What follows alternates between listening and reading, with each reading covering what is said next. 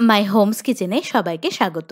মাত্র 10 থেকে বারো মিনিটের মধ্যে কোনো রকম মশলা, বাটাবাটির ঝামেলা ছাড়াই খুবই সুস্বাদু একটা মাছের ঝোলের রেসিপি আজকে আমি আপনাদেরকে তৈরি করে দেখাবো।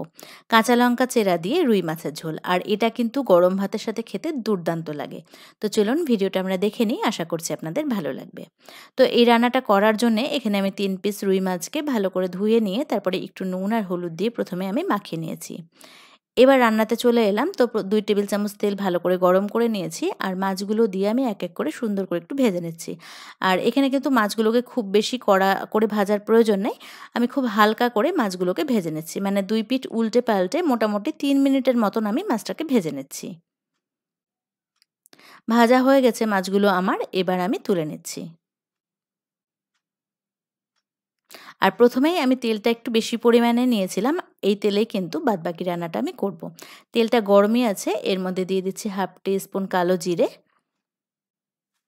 আর সাত আটটা কাঁচা লঙ্কাকে আমি দুই ফালি করে নিয়েছি, সেটাও দিয়ে দিলাম। তবে ঝালটা অবশ্যই আপনারা নিজেদের টেস্ট অনুযায়ী দিবেন, কীরকম ঝাল খেতে পারেন আপনারা, সেই অনুযায়ী কিন্তু কাঁচা লঙ্কাটা দেবেন। হাফ টি স্পুন আদা কুচি দিলাম, আর দিয়ে দিচ্ছি একটা ছোট সাইজের পেঁয়াজ কুচি। এবার সব কিছুকে খুব ভালো মতন আমাদেরকে ভেজে নিতে হবে। মানে পেঁয়াজটা হালকা একটু নরম হয়ে যাবে, আর কালারটা হালকা একটু চেঞ্জ হয়ে যাবে। এই পর্যন্ত পেঁয়াজটাকে আমি ভেজে নিয়েছি। আঁচটাকে কিন্তু কমেই রাখতে হবে, নাহলে সব মশলাগুলো কিন্তু পুড়ে যাবে, তখন আর টেস্টটা ভালো আসবে না। এবার একটা ছোট টমেটো কুচি দিয়ে দিলাম। তার সাথে একটুখানি নুন দিয়ে এবার টমেটোটাকে ভালো মতন গলে যাওয়া পর্যন্ত আমাদেরকে সেদ্ধ করে নিতে হবে। দেখুন, মিনিট দুয়েকের মধ্যে কিন্তু টমেটো, পেঁয়াজ খুব সুন্দর করে মজা এসেছে। যেহেতু আমি সামান্য একটু নুন দিয়েছিলাম, নুন দিলে কিন্তু খুব তাড়াতাড়ি টমেটোটা সেদ্ধ হয়ে যায়। এবার এক এক করে সব গুঁড়ো মশলাগুলো দিয়ে দিচ্ছি।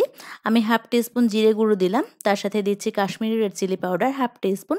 তবে কিন্তু এটা না দিলেও চলবে, আমি একটু কালারের জন্য দিলাম। হাফ টিস্পুন হলুদ গুঁড়ো দিলাম আর দিচ্ছি পরিমাণ মতন নুন। এবার সামান্য একটু জল দিয়ে খুব ভালো করে এই মশলাগুলোকে কষিয়ে নিতে হবে। যেহেতু গুঁড়ো মশলা দিলাম, তাই জন্য সামান্য একটু জল দিয়ে কিন্তু মশলাটাকে কষাতে হবে। না হলে অনেক সময় দেখা যায় যে তেলের মধ্যে মশলাটা পুড়ে যাচ্ছে, তখন কালারটাও খারাপ হয়ে যায় আর টেস্টটাও কিন্তু খারাপ হয়ে যায়। সব কিছু ভালো মতন কষে এসেছে।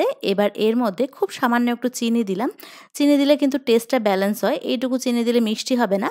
তো আপনারা যারা পছন্দ করেন না চিনি, তারা কিন্তু না দিলেও চলবে। এবার মাছগুলোকে দিয়ে দিয়েছি আর মাছগুলোকে একটুখানি আমি কষিয়ে নিচ্ছি। মোটামুটি মশলার সাথে মিনিট দুয়েক মতন মাছ, মাছটাকে আমি কষিয়ে নিচ্ছি। সব কিছু ভালো মতন কষে এসেছে। এবার এর মধ্যে দিয়ে দেবো জল। আমি এক কাপ গরম জল দিচ্ছি, তবে ঝোলটা আপনারা কীরকম রাখতে চাইছেন সেটা বুঝে কিন্তু জলটা দেবেন। একটুখানি মিশিয়ে নিয়ে অপেক্ষা করব ঝোলটা ফুটে ওঠা পর্যন্ত।